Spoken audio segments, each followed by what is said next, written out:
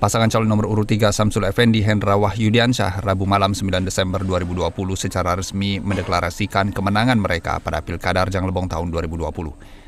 Samsul menjelaskan klaim kemenangan tersebut berdasarkan hasil hitung cepat sementara yang dilakukan tim Samsul Hendra atas dokumen C1 yang dikumpulkan para saksi dari tim Sahe. Samsul menyebut hingga pukul 23.00 Rabu malam, jumlah data yang masuk sudah mencapai 138.640 suara atau sekitar 72 persen dari jumlah DPT. Dari angka tersebut, pasangan Sahe unggul dari pasangan lainnya dengan perolehan suara sebanyak 41.425 atau sebesar 30 persen dari suara yang masuk. Meski ada kemungkinan data mengalami pergeseran seiring bertambahnya suara yang masuk, namun Samsul mengakui kemungkinan pergeserannya tidak terlalu signifikan. Berikut pernyataan langsung dari Samsul Hendra di rumah pemenangan tim Gajah Mada di Kelurahan Erambai Curup, Rabu malam. Ya, Alhamdulillah artinya dari pelaksanaan pilkada yang dilaksanakan pada hari ini sampailah batas jam 1 siang tadi artinya ketika saat itu sudah mulai dilakukan perhitungan. Ya, artinya yang bisa kita sampaikan pada kesempatan ini yaitu melalui blanko C1 yang sudah disampaikan oleh artinya tim ataupun orang-orang dari saya itu sendiri.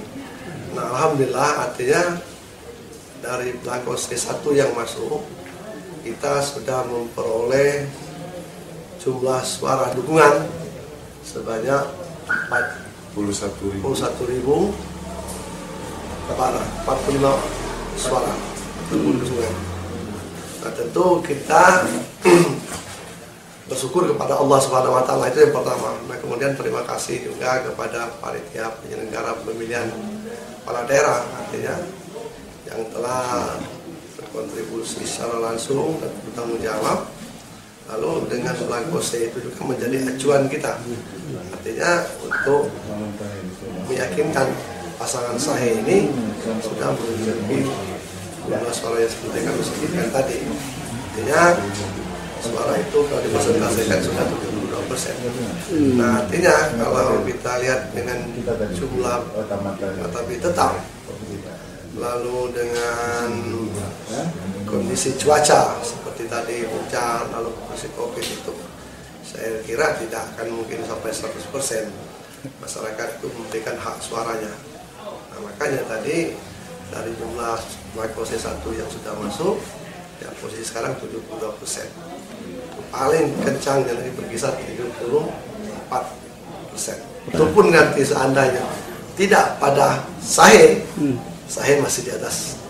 Lain. Amin. Pilkada ini merupakan agenda. Mereka katakan rutin lima tahun lima tahun. Hanya saja tahun ini ya tiga, tiga tahun nanti hmm. ini.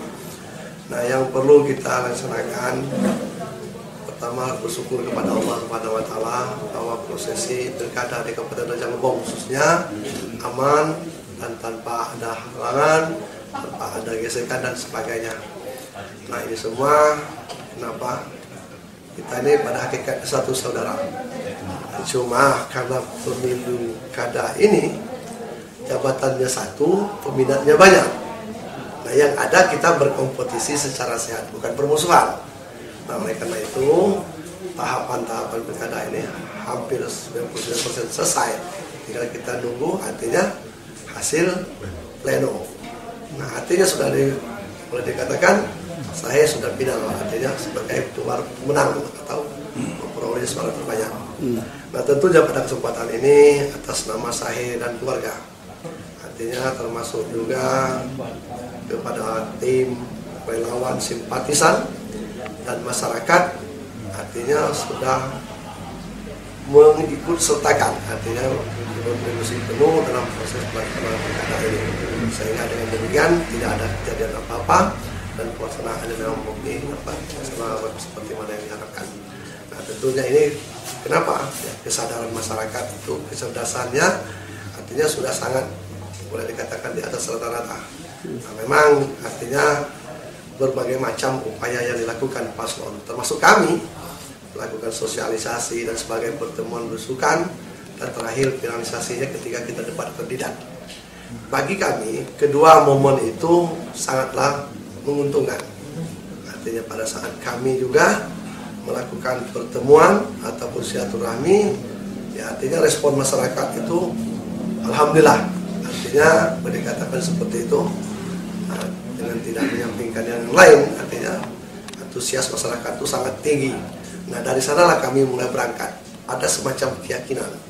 Artinya ketika masyarakat ini menginginkan adanya perubahan adanya bupati baru khususnya di pilkada ini Nah, kemudian yang kedua, artinya terima kasih banyak kepada pemerintah daerah. Artinya bupati, termasuk juga unsur keamanan lainnya, Polres Dandim, Jaksa dan sebagainya, termasuk KPU, Bawaslu juga, yang semuanya berperan sesuai dengan bidangnya masing-masing. Menurut KPU sebagai penyelenggara daripada pemilihan kepala daerah ini. Tanpa mereka mereka artinya rasanya kita agak sedikit artinya kesulitan. Pertama memang kondisi COVID, kemudian situasi ini memang keterbatasan artinya di sana sini itu juga bisa satu penyebab. Nah alhamdulillah semuanya berlalu karena ada kerjasama, adanya dukungan artinya dari semua pihak sehingga pada pada hari Rabu 9 Desember ini jam satu siang tadi prosesi artinya memberikan hak suara itu sudah ditutup secara resmi. Nah sekarang tinggal kita menunggu hitungan terakhir daripada korcam-korcam nah, kemudian setelah di kecamatan baru dikirimkan ke KPU kabupaten untuk dilaksanakan artinya rapat pleno ataupun penentuan pasangan mana artinya tentunya pada saat ini saya mempunyai suara terbanyak, insya Allah jadi bupati dan dilantik. Dan tentunya harapan ini bukan kami saja, keluarga besar kami saya juga, termasuk juga masyarakat Rejang Lebong. Insya Allah itu ke depan tidak ada halangannya. Tentunya kita berharap semua doa daripada masyarakat, termasuk kawan-kawan dari media juga. Mungkin itu yang bisa kami sampaikan pada kesempatan ini. Nah, sekali lagi kepada masyarakat, kami bersama dengan Mas Hendra dan keluarga menyampaikan ucapan terima kasih sekaligus penghargaan kami yang setinggi-tingginya telah mempercayai atau sudah memilih dan mendukung saya untuk menjadi bupati pilihan rakyat. Insya Allah amanah. Ya, jadi baik, eh, terima kasih. Kami di sini hanya berpesan khususnya kepada tim pendukung eh, supaya tidak euforia yang berlebihan. Jadi kami berharap mari kita kawal eh, kegiatan ini sampai dengan selesai sampai nanti di pleno KPU penetapan calon uh, pemenang terpilih dan juga nanti pada waktu pelantikan. Dan sekali lagi kami mengingatkan untuk di media sosial tidak perlu kita menghujat kembali ataupun kita menyinggung perasaan kawan. Kita semua saudara. Kita semua saudara. Jadi pilkada sudah usai. Mari kita membangun Rejang Lebong ke depan ini untuk lebih baik lagi bersama-sama. Terima kasih. Frankie Edidogoro, RLTV.com